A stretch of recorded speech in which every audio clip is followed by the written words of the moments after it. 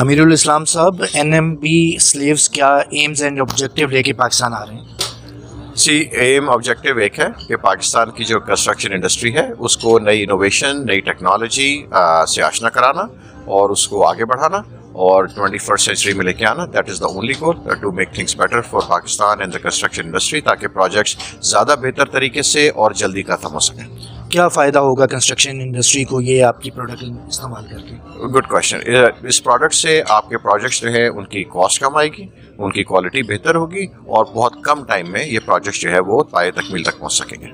मतलब ये को किस किस्म के प्रोजेक्ट्स में इस्तेमाल हो सकती है? हाई राइज में हो सकती है या दीगर किन किस्म की दिस कैन बी यूज़ ये हाई राइजेस में भी इस्तेमाल हो सकती है ब्रिजेस में इस्तेमाल हो सकती है पोर्ट्स में इस्तेमाल हो सकती है पार्किंग गराजेस में ट्रेन स्टेशन में डिफेंस इंस्टॉलेशन में यूटिलिटी स्ट्रक्चर्स में टनल्स में सूअर्स में, आप जहाँ चाहें इसको इस्तेमाल कर सकते हैं। और इससे जो है आपकी जो आपने कहा कॉस्ट भी बेहतर होगी और टाइम भी बेहतर होगा।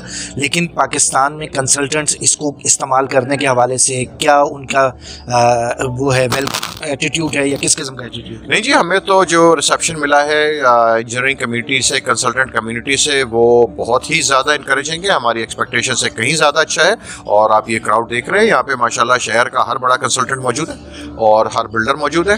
और they are all very anxious they want to look at the product more और वी आर वेरी इनकरेज्ड और हमें ऐसा बिल्कुल नहीं लगता कि लोग जो है वो नई चीज़ से डर रहे हैं या उसको इस्तेमाल नहीं करना चाहते. Everybody wants to try it and use it which is very encouraging अभी तक आप कोई पाकिस्तान में प्रोजेक्ट कर चुके हैं इस हवाले से? जी हाँ बिल्कुल. ये Rafi cricket stadium Bahria town Karachi में ये प्रोडक्ट इस्तेमाल हुई बहुत सक्सेसफुली इस्तेमाल हुई और प्रोजेक्ट ऑलमोस्ट ख़त्म हो चुका है. Thank you very much sir